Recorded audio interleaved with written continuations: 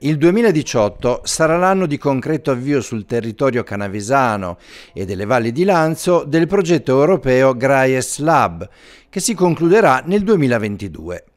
Porterà sul territorio transfrontaliero di Piemonte, Valle d'Aosta e Francia la somma di circa 8 milioni di euro per sviluppare azioni comuni collegate ai temi dell'innovazione, del turismo, della mobilità sostenibile e dei servizi sociali.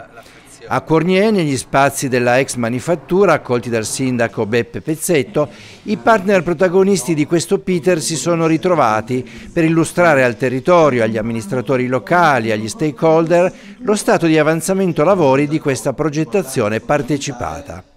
Un confronto interessante e ricco di spunti.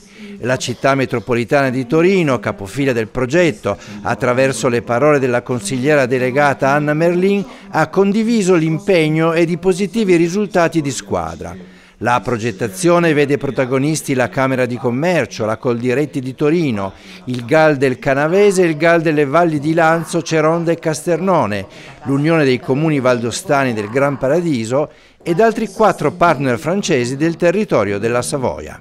Dall'assessore regionale alla programmazione europea Alberto Valmaggia, intervenuto all'incontro di Cournier, sono venute parole di soddisfazione per il lavoro svolto fin qui, significativo per l'approccio dal basso e il coinvolgimento di numerosi giovani.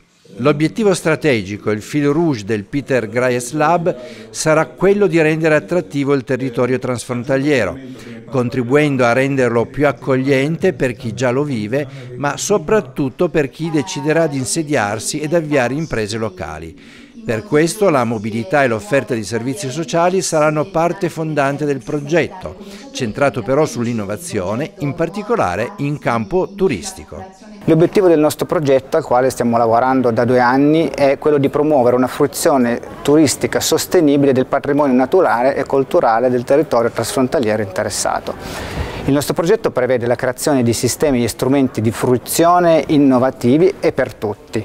L'iniziativa prevede inoltre attività dedicate ad operatori privati per la gestione e la promo commercializzazione online. Quando diciamo per tutti vuol dire per tutti, quindi sostenibilità e accessibilità sono le parole chiave del nostro progetto.